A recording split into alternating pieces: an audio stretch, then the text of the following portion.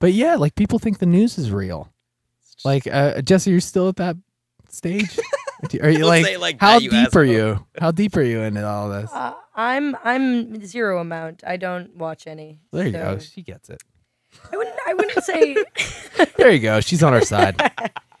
Case closed. How much money has CNN made off this fucking Malaysian Airlines? What are the odds of your plane going down? It's not good.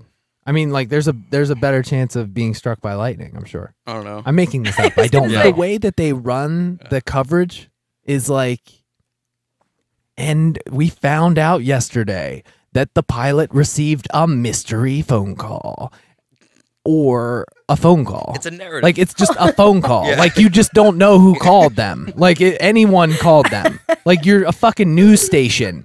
He took a mystery trip to the bathroom.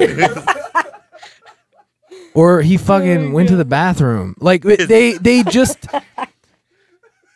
You know what I mean? It's a show. It's a they're they're just man. scaring They're sh- people. They're, They're, trying and to make a mystery. They're shucking and driving for a story.